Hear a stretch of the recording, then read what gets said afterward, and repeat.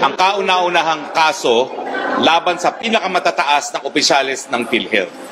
Ako po ang tumayong nagrereklamo rito. Ako po ang pangunahing may akda ng Universal Healthcare sa mababang kapulungan. Setyembre 17, 2017 pa lamang, ina-approve na po yan on third and final reading sa Kamara. Dahil sa batas po, ang magpapatupad ng batas ay ang PhilHealth.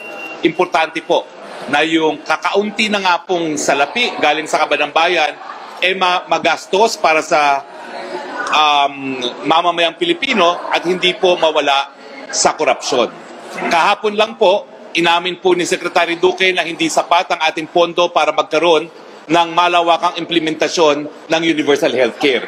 Hindi po yan ang intensyon natin, ang sinulong natin ng batas. Ang intensyon po natin, lahat ng Pilipino makinabang at alam po natin na dahil sa korupsyon, naubos po ang pera ng PhilHealth.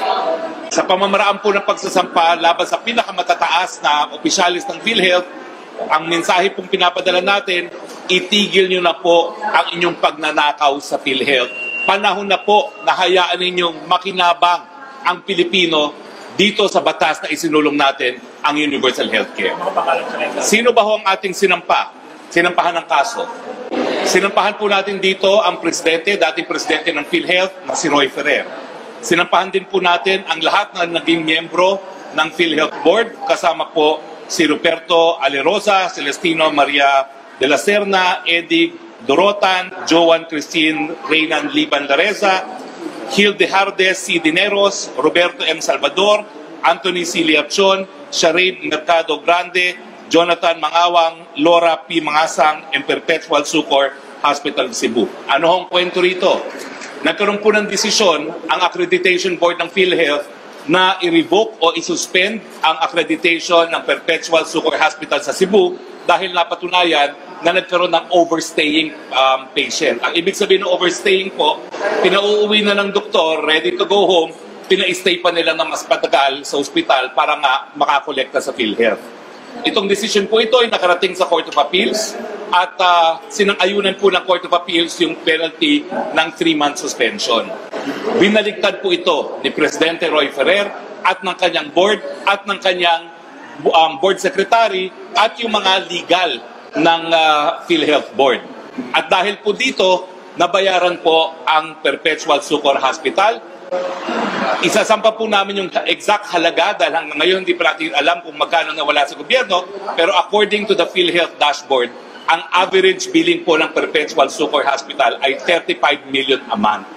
So hindi po bababa sa 100 million ang nawala po uh, sa PhilHealth dahil nga po sa desisyon ni Ferrer at ng board na i-revoke o ibaliktarin yung penalty of suspension na na-uphold na po ng Court of Appeals. Ano pong kasong sinampa natin?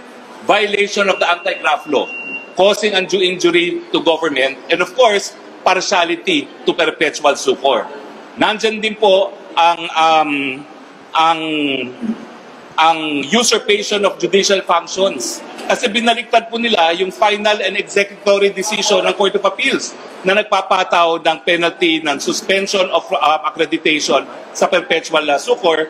At nandyan din po siyempre yung um, grave um, yung grave misconduct, neglect of duty, grave abuse of discretion, and conduct prejudicial to um, the best um, interest of the service kasong administratibo dahil yung mga abogado po na nasasampa rito, sila pa rin ay naroon sa PhilHealth. At kung hindi po sila masususpende, ang takot ko po, baka yung mga dokumento na kailangan natin para sa iba't iba pang kaso laban sa mga opisyalis ng PhilHealth ay tuluyan ng mawala. Minabuti ko na po na tayong mga pribadong mamamayan ang magsampa. Siguro naman po walang kaduda-duda yung aking standing to sue. Dahil ako naman po ay hindi lang mamamayan, hindi lang ako miyembro ng PhilHealth, ako pa po yung pangunahing may akda ng Universal Healthcare. No? At uh, hindi rin po kami umaasa na yung legal department ng PhilHealth ay makakasampa ng mga kaso na tatayo dahil nakita nga natin yung nangyari sa WellMed. Yan po ay complaint na drafted and prepared by the legal of PhilHealth. Hindi po NBI nag-file doon sa sa kaso sa, sa WellMed. Yan po ay sinampa ng legal department sa ilalim ni SVP um, Del Rosario no, ng PhilHealth either kakulangan po ng kakayahan or intention po yung pag, pag-file ng palpak na complaint. Ang, ang tingin ko naging motibo, motibo po doon sa maling complaint sa WellMed, pag nasa MTC kasi, mawawala ng proteksyon yung whistleblowers. Tingin ko, yung mga ma- maiitim ang budhi dyan sa PhilHealth, ang nais nila, mawala ng proteksyon yung mga taga, yung mga whistleblowers na hindi na kumanta laban sa WellMed. At sa kauna-unahang panahon po, pagkakataon, ibubunyag ko na rin po. Sinabi na po sa akin ni Secretary Maynard kahapon, wala na pong proteksyon sa Witness Protection Program ang dalawang whistleblower, si Edwin at si Giselle. Pero mabuting balita naman po, nakipag-ugnayan rin tayo kahapon, dahil kahapon po dumating sa akin yung masamang balitang yan, dito po sa Ombudsman. Kay Ombudsman, um, sa ating Ombudsman, Martires, at sinabi naman po niya na although tahimik, siya po yung nag iimbestiga tungkol dito sa PhilHealth at um, kung meron talagang uh, pangangailangan, ang magbibigay ng witness protection kay Edwin at Lizelle ay ang ombudsman na.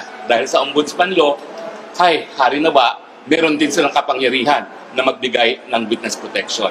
So yung mga masasamang budhi dyan sa loob ng uh, PhilHealth, neck-neck ninyo. Meron pa rin pong proteksyon ng whistleblowers. Kakanta pa rin po sila laban sa inyo, manigas kayo.